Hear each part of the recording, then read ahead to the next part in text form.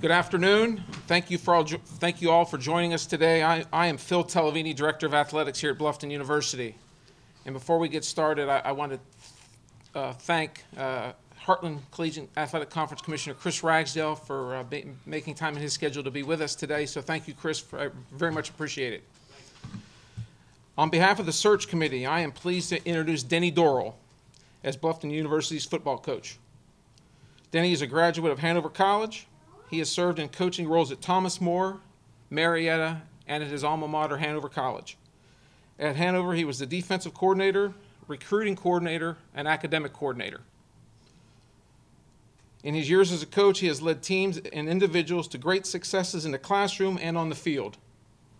These teams, defensive units, and student athletes have garnered recognitions from their conferences, state athletic associations, D3Football.com, and ESPN the magazine.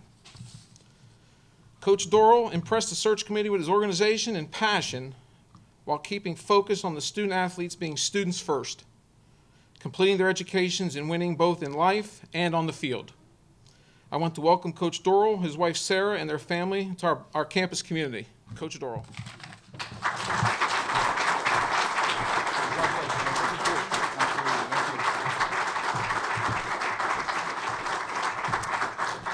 Thank, thank you very much. Uh, it's an honor and a privilege. I'm very humbled to be able to stand up here and be the uh, new head football coach of Bluffton University.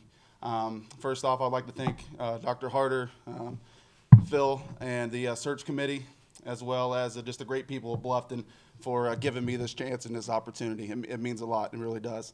I also want to give a quick thanks to Coach Stokes.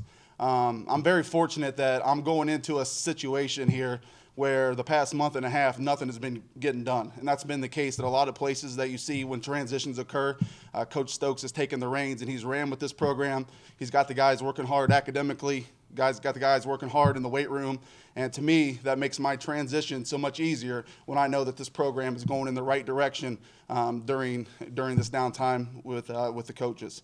Uh, there are some people that i want to thank. Um, you know my coaching tree that you know i've been a part of uh, Phil named some you know, places that I've been. Uh, my head coach when I played at Hanover, uh, C. Wayne Perry, uh, was a great role model, great example. Uh, coach Dean Paul gave me my first job um, at Thomas More College. Uh, coach Hallett, Mike Hallett, gave me my, my first job as a defensive coordinator when I was 25 years old. He believed in me at that time. Um, Jeff Fikowski, when I was at Marietta, really gave me a chance to grow as a coach and grow as a person. And then uh, Steve Bottendistel, the head coach at Hanover, um, you know, is a great friend of mine. He's been uh, these last two years with him has been great, um, and more importantly, the last 15, 16 years that we've been uh, friends um, obviously means a lot to me.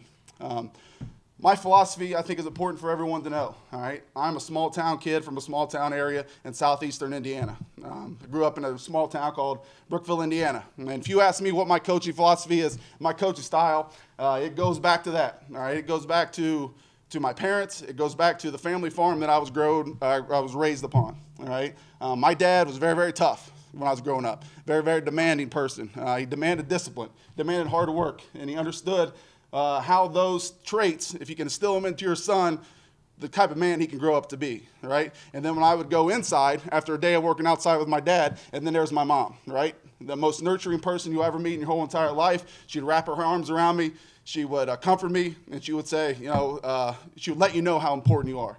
And I think when you look at me as a coach, I combine those two things very, very well. I'm a perfect mixture of my parents, right? I'm going to be tough. I'm going to be demanding. I'm going to expect discipline and I'm going to expect hard work because I know the value that can get you. But at the end of the day, I promise you, I'm going to wrap my arms around my players.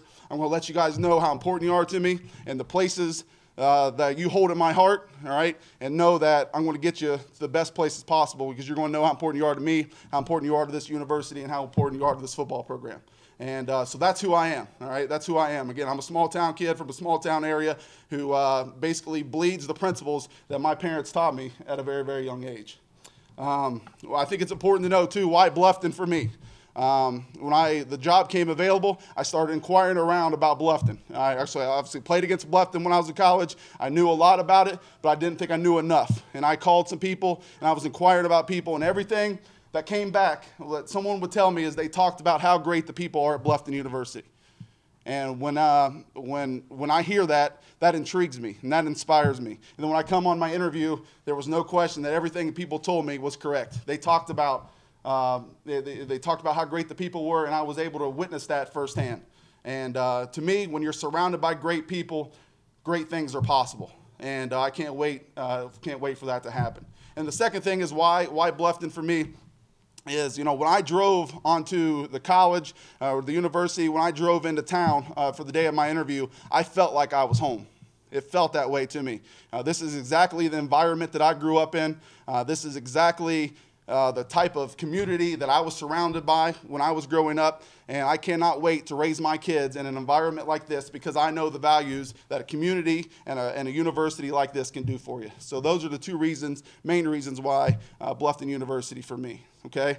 Um, and, looking forward and looking to the future, all right, when you talk about Bluffton University football from this point forward, all right, you're going to see a passionate program. All right, you're going to see players that are going to be energetic. You're going to see players that are flying around and doing things the right way. And I'm going to be setting the tone and setting the example with that myself. All right, I'm going to challenge my players. I'm going to say, this is where you have to be in order to play great defensive football. All right, or great football on the offensive side of the ball, great defensive or great special teams football. This is where you have to be. All right, and I'm going to challenge our guys to go above and beyond that because when you're there, all right, there's nothing like it in the whole entire world. Football is a passionate, passionate football. Is a passionate, passionate game. And if you want to play it and play it well, play it with passion, play it with enthusiasm. And I think that's what you'll see in our in our football program.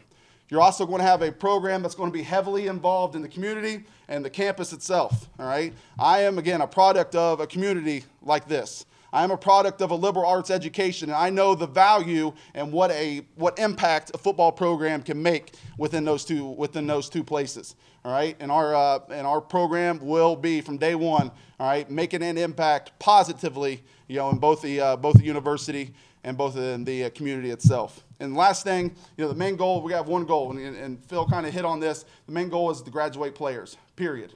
All right? We're, we're going to do everything we possibly can, all right, to make sure that this four years that these guys are with us is the greatest experience of their whole entire life. All right? And that way, when they graduate from Bluffton University, all right, they can go out, they can be positive role models, they can be positive representatives of this community. They can go out and they can be great fathers, they can be great husbands, and great, be great employees someday. And that's what this program is going to be based on. Um, and then the last thing is, you know, so my wife is running around out there. But I do want to introduce her um, and introduce uh, a couple of my uh, kids that are here. Um, don't know if she'll be able to come up or not. So she's coming. This is uh, this is my wife Sarah. Um, you know, being a coach's wife is not necessarily the easiest job in the whole entire world.